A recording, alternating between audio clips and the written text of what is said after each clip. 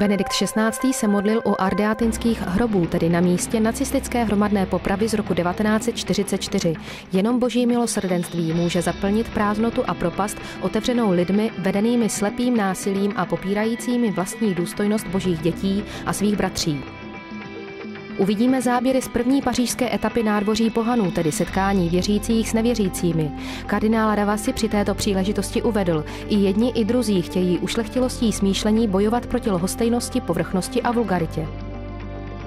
Vatikánská muzea připravila službu pro neslyšící a nevidomé návštěvníky v podobě průvodců ve znakové řeči a trojrozměrného vyobrazení malířských děl.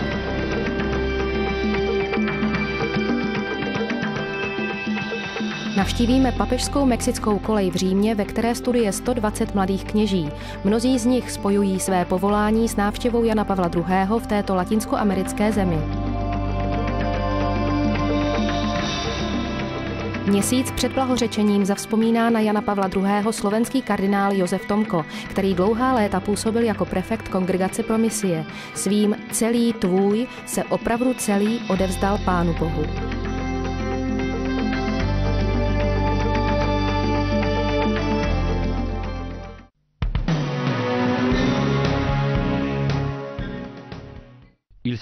Ježíšova krev nebyla prolitá proti nikomu, ale je to naopak krev prolitá za mnohé a za všechny.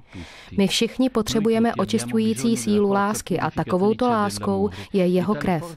Není to prokletí, nýbrž spása. Toto je jedna z myšlenek poslední papežovy knihy o Ježíšovi, která přitáhla pozornost a vzbudila značný souhlas, protože rezolutně odmítá interpretaci Evangelia, podle které by byl židovský národ zavržen. Dnes nám však tato slova přicházejí na mysl opět, zvláště když je prolito tolik krve na pobřeží Slonoviny, v Libii či v dalších částech světa. Krev prolitá v občanských válkách kvůli národnostním konfliktům či z jiných důvodů. Místo, aby se tyto národy snažily růst jako lidské a občanské společenství, prohlubuje se propast nenávisti a to nejenom dnes, ale i do budoucna. Když křesťané vidí prolitou krev, nemohou si spontánně nevybavit Ježíšovou krev. Krev Boha, jenž je nám blízko, Boha, jenž má účast na utrpení, způsobeném vraženým násilím, z něhož se může radovat pouze ten, kdo je nepřítelem lidstva. Bůh neustále miluje každého a přeje si, aby všichni byli spasení. Vždyť za všechny tekla jeho nevinná krev. Že by nemohoucí zbraň, která však nakonec přece jen zvítězí, cesta ke kříži a ke zmrtvých stání podepírá namáhavé úsilí všech tvůrců pokoje.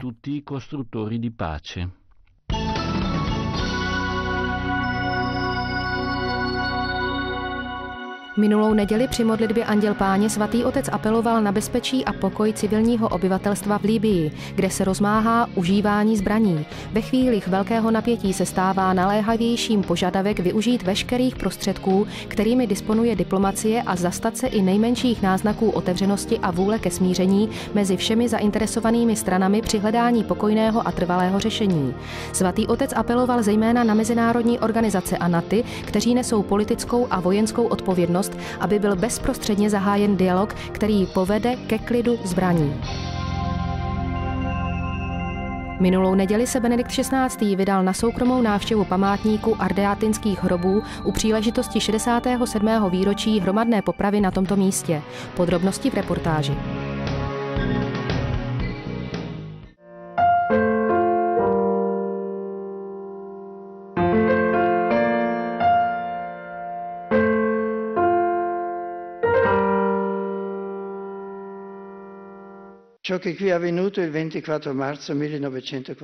To, co se stalo zde 24. března 1944, je těžká urážka Boha, protože je to svévolné násilí člověka na člověku. Je to ten nejzavržení hodnější důsledek války, každé války, neboť Bůh je život, pokoj a společenství. Na pozvání italského národního združení příbuzných obětí, které padly za svobodu vlasti, Vykonal Benedikt XVI. dne 27. března návštěvu památníku ardeatinských hrobů u příležitosti 67. výročí hromadné vraždy.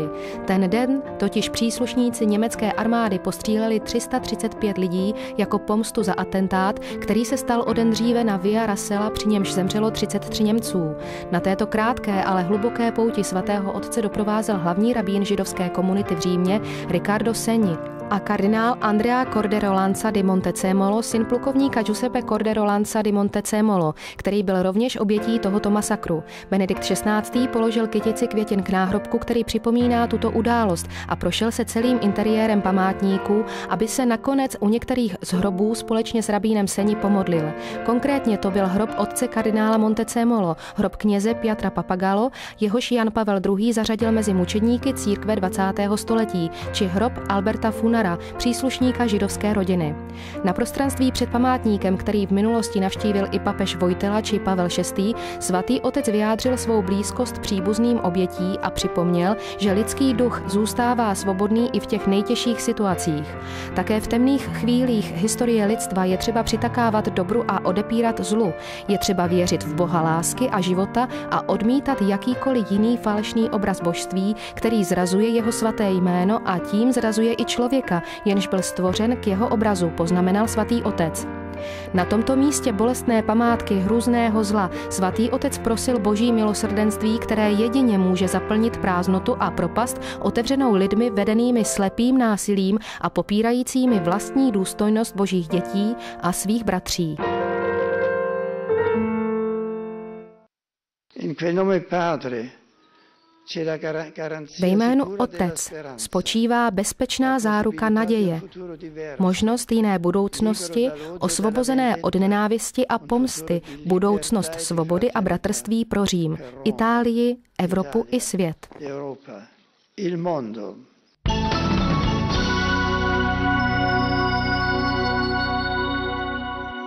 Ve středu po skončení generální audience svatý otec poukázal na nepokoje na pobřeží Slonoviny. Od listopadu loňského roku v zemi navíc panuje krvavá občanská válka mezi politickými protivníky. Dramatický střed ukazuje na naléhavou potřebu znovu nastolení respektu a pokojného soužití. K dosažení tohoto cíle musí být vynaloženo veškeré úsilí, uvedl Benedikt XVI. Dále řekl, že za tímto účelem posílá do této ušlechtilé země kardinála Tarksna, předsedu Papežské rady pro spravedlnost a mír, aby vyjádřil solidaritu obětem konfliktu a povzbudil je ke smíření a pokoji. Minulý týden se v Paříži konala významná iniciativa nazvaná Nádvoří pohanů. Byla zaměřena na podporu dialogu s nevěřícími. Hovořit budeme s kardinálem Ravasim.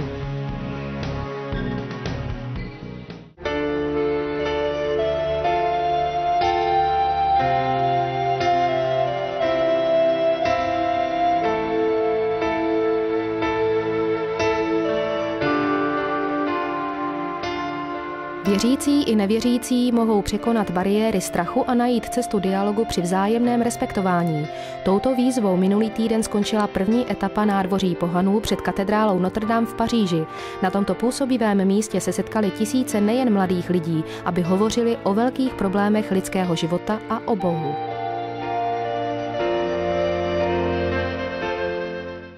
Croyants et non croyants Věřící i nevěřící, kteří jste přítomni na tomto velkém nádvoří neznámého, také vy jste zváni vstoupit do posvěceného prostoru, projít velkolepým portálem Notre Dame, vstoupit do katedrály a na chvíli stanout v modlitbě. Pro některé z vás to bude modlitba k Bohu, kterého ve víře znáte, a pro jiné může být modlitbou k Bohu neznámému. Nádvoří pohanů, což je nová iniciativa Vatikánu zaměřená na zblížení věřících a nevěřících, umožnila v Paříži během dvou dnů sdílení intelektuálů, vědců, politiků, umělců či představitelů náboženství. V sídle UNESCO, na Sorboně a v sídle Francouzské akademie se hovořilo na aktuální témata, jako je třeba globální ekonomická a sociální krize a o propojení víry a rozumu. To umožnilo individualizovat mnoho společných hodnot a znamenalo to zároveň velkou výzvu pro nádvoří pohanů, jak říká kardinál Gianfranco Ravasi, předseda Papežské rady pro kulturu.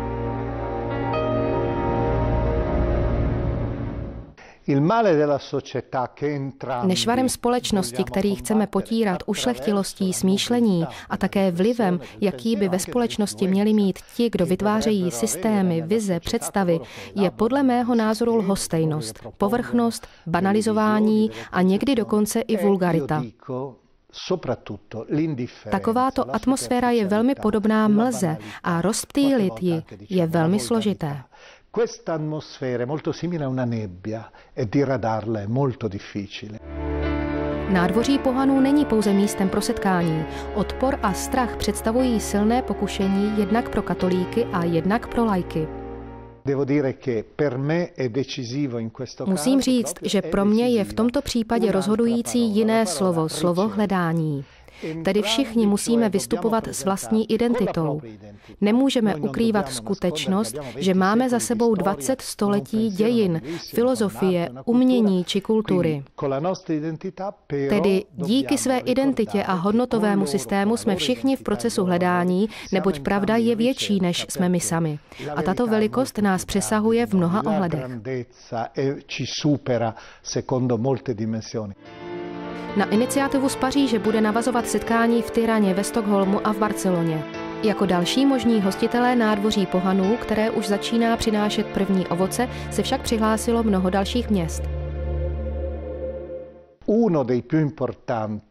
Jeden z nejvýznamnějších francouzských ateistických myslitelů, Luc Ferry, který učí také na Harvardu ve Spojených státech, mě jednou navštívil s myšlenkou, že bychom díky společnému dialogu mohli vydat knihu. Překvapil mě, když řekl na jaké téma? Evangelium podle Jana.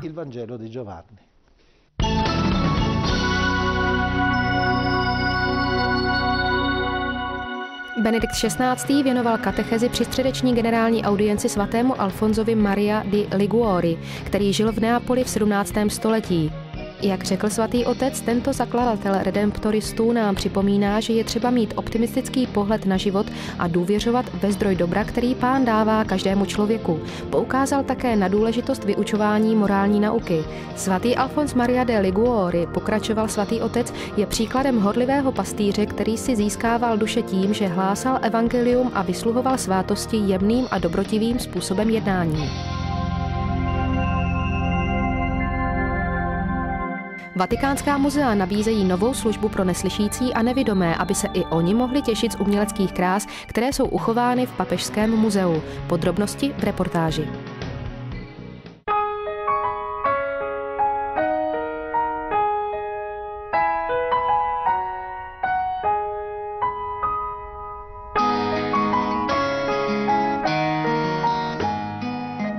Tělesné postižení nesmí nikomu bránit v obdivování uměleckých děl.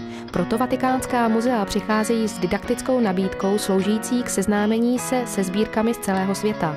Například neslyšící mohou od března navštívit některá oddělení vatikánských muzeí, kde je budou v znakové řeči provázet vyškolení odborníci na dějiny umění. Pro nevidomé jsou zase připraveny trasy, na kterých budou moci díky ostatním smyslům poznat třeba sochy ze Světského muzea Řehoře 16. či skvosty vatikánské obrazárny. Iniciativu nám přiblíží vedoucí didaktických aktivit vatikánských muzeí Maria Serlupi.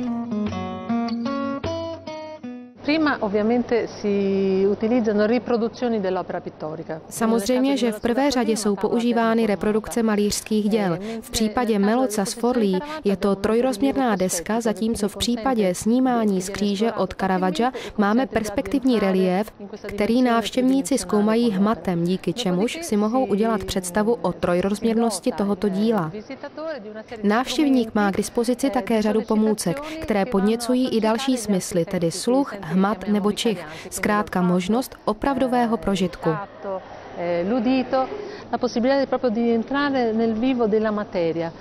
Jedna restaurátorka provedla reprodukci fresky na tentýž materiál a toutéž technikou, jaká byla použita na anděli od Meloca. Provedla také reprodukci části Caravaggiova obrazu za pomoci stejné tkaniny a stejnou malířskou technikou. Je možné dotknout se nejenom reprodukce, ale i materiálu. Návštěvníci budou moci vidět, jak se takovýto materiál připravuje. To znamená, že že vstoupí přímo do samotného díla. Pak jsou tady různé vůně. V případě snímání z kříže je to vůně aloe a mirhy, které se používaly při pohřbívání zesnulých. Bude možnost dotknout se plátna, do jakého byl zavinutý i Kristus.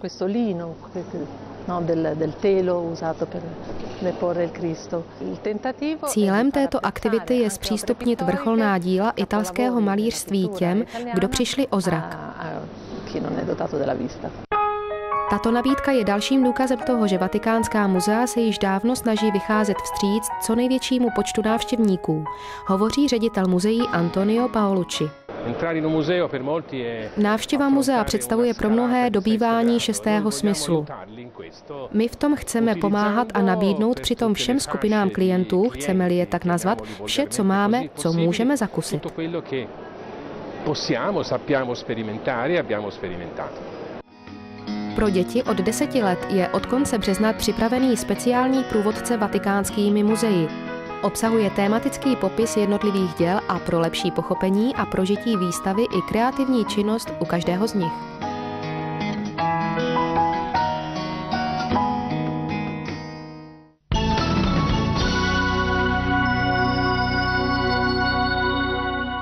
Benedikt XVI. přijal v pondělí dopoledne na audienci jeho blaženost Kristosoma II. arcibiskupa Nové Justiniány a celého Kypru. Jejich rozhovor se týkal mimo jiné situace křesťanů na Blízkém východě a náboženské svobody na Kypru. Benedikt XVI. a arcibiskup Krysostomos se v minulosti setkali u příležitosti návštěvy pravoslavného patriarchy v Římě v červnu 2007 a pak při návštěvě svatého otce na Kypru loni v červnu.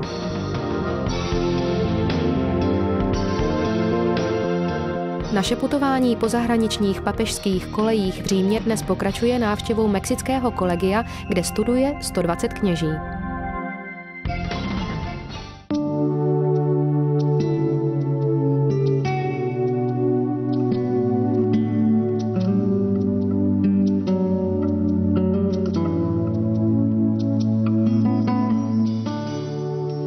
Římské čtvrti Monteverde Nuovo uprostřed velkého parku plného vysokých stromů má své sídlo papežská mexická kolej. Vznikla v roce 1960 z vůle kardinála Jose Gariby Rivera pro formaci kněží, kteří měli být blízko svatému otci a získat hlubší a komplexnější pohled na církev.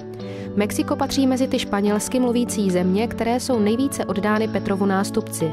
Jan Pavel II. vykonal svou první mezinárodní cestu v lednu 79 právě do Mexika a za svůj pontifikát ho navštívil celkem pětkrát. Kardinál Dživiš, papežův osobní sekretář, nám řekl, že pro papeže Vojtilu bylo Mexiko druhým domovem. K mikrofonu jsme pozvali otce Francesca Ramireze, rektora papežské mexické koleje. C'è un legame molto Existuje jedno velmi hluboké pouto, nebo, jak se říká, takový rodinný vztah. Zdá se mi, jako by svatý otec během té své první pastorační cesty do Mexika objevil něco, co mu jako papeži předurčilo ukázalo cestu. Myslím, že to byl misijní papež. Papež, který navštívil celý svět.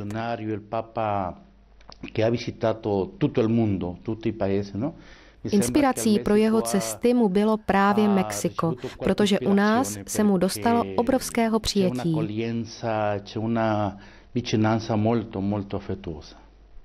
Také otec Benito Galian, student koleje, vzpomíná na návštěvy Jana Pavla II. a na to, jak jeho osobně tyto návštěvy ovlivnily. Yo diré que la mia vocazione Řekl bych, že mé povolání rostlo společně s pontifikátem Jana Pavla II. Vzpomínám si, že po mém vstupu do semináře v roce 1999, kdy papež po čtvrté navštívil Mexiko, jsme se zúčastnili mše svaté na autodromu v Mexiku. Eh, eh, una notte così fredda,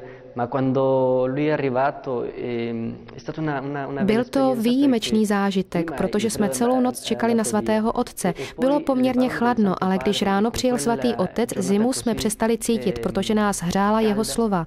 Řekl bych, že ten den byl naprosto výjimečný. Pastorace povolání přináší v Mexiku hojné ovoce. Výjimkou je možná centrální oblast země. Na severu i na jihu je ale Mexiko bohaté na bohoslovce a tento pozitivní trend se odráží například i v tom, že kolej v Římě je v současnosti plná. Počet seminaristů dokonce opět převyšuje kapacitu 115 míst. Papežská mexická kolej nabízí každému knězi jedinečnou formaci, jak nám potvrdil i otec Diego Alejandro Poras.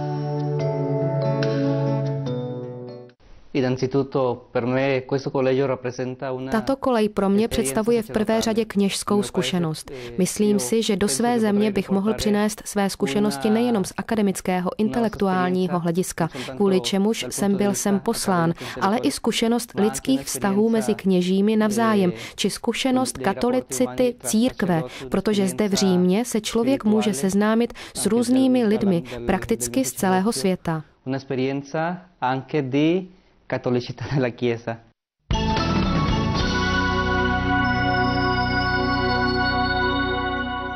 Svatý otec přijal ve středu dopoledne jeho blaženost Sviatoslava Ševčuka, kijevsko-haličského arcibiskupa, kterého před týdnem zvolil synod řecko-katolických biskupů Ukrajiny. Jsem si jistý, řekl svatý otec při generální audienci v pozdravu v ukrajinském jazyce, že budete vést svou církev ve víře v Ježíše Krista podle vlastní tradice a spirituality v jednotě s Petrovým stolcem, který je viditelným znamením jednoty, za kterou mnoho synů neváhalo obětovat dokonce svůj vlastní život.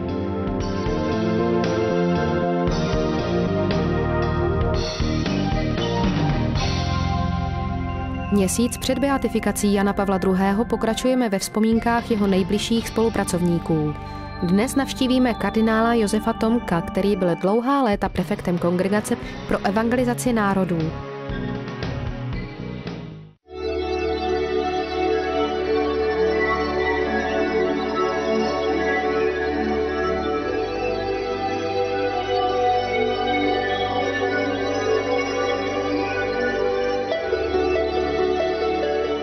Dostalo se mi té milosti, že jsem mohl mnoho let sloužit církvi po boku Jana Pavla II. Od něho jsem se naučil víře, žulové víře.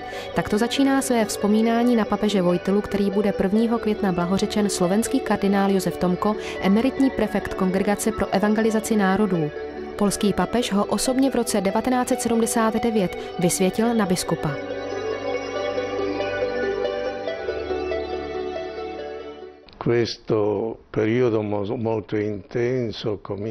Toto velmi intenzivní období začalo ještě v roce 1979, kdy se rozhodl, že on sám na mě vloží ruce při biskupském svěcení v Sixtinské kapli.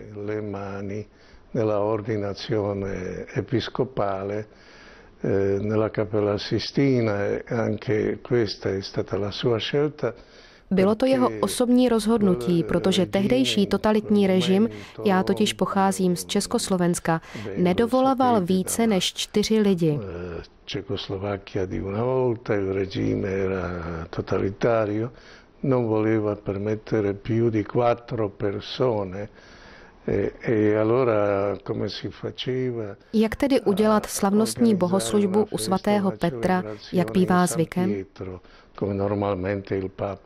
Svatý otec vyřešil problém tím, že sám na mě položil ruce. Ruce, které ještě teď cítím na své hlavě. Kardinál Tomko sdílel s Janem Pavlem II. i nadšení pro hory, ale hlavně pro misie. Již v prvních slovech encykliky Redemptoris Missio je patrná představa velkého papeže o misiích. Doslova napsal, poslání Krista vykupitele, které je svěřeno církvi, zdaleka ještě není splněno. Sám Duch Svatý nás vybízí, abychom zvěstovali veliké skutky Boží, že hlásám evangelium, tím se chlubit nemohu, to je mi uloženo jako povinnost a běda, kdybych ho nehlásal. Ve jménu celé církve cítím naléhavou povinnost opětovně připomenout tato slova svatého Pavla. Vždy se jevil jako misionář. Stačí vzpomenout na jeho výkřik s křížem v ruce. Nebojte se Krista. To, že chtěl hlásat Ježíše Krista, bylo zřetelné z každého aspektu jeho života. Velmi mu záleželo na evangelizaci. V moři fotografií a upomínkových předmětů vzpomíná kardinál Josef Tomko i na společné cesty s Janem Pavlem II. v době, kdy byl ještě prefektem Kongregace pro evangelizaci národů. 16 let práce a tisíců kilometrů, aby se Kristus dostal do všech koutů země. Kardinál vzpomíná také na cesty papeže Vojtily do jeho rodné země na Slovensko. Slovensko navštívil celkem třikrát. Vzpomínám zejména na poslední cestu v roce 2003, kdy už byl hodně nemocný a nemohl ani chodit.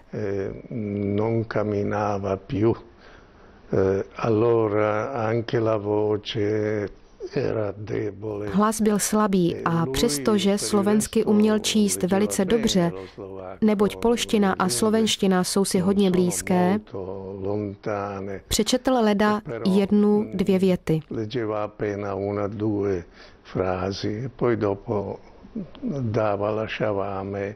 Pak jsem pokračoval já.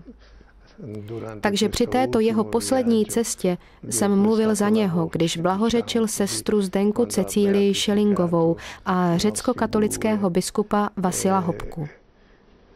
Le due persone, cioè la suora Zdenka Šelingova e il vescovo eh, di rito bizantino Vasil Hopko.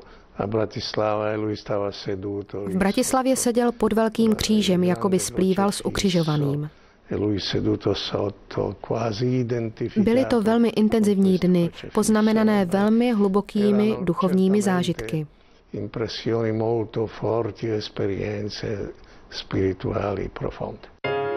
Kardinál je přesvědčen, že 1. května přijdou vzdát poctu a poděkovat tomuto obru ve víře tisíce lidí, kteří za 27 let pontifikátu Jana Pavla II. poznali osobně.